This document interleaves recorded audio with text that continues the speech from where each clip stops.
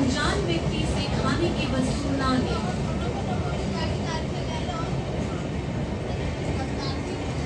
खाने बिना दीवा होती है खाली दाना टाइम जोड़े नहीं।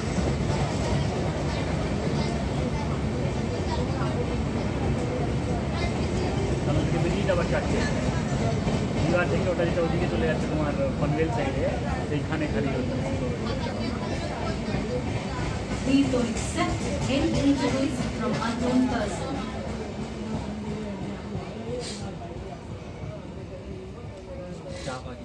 Railways for safe journey.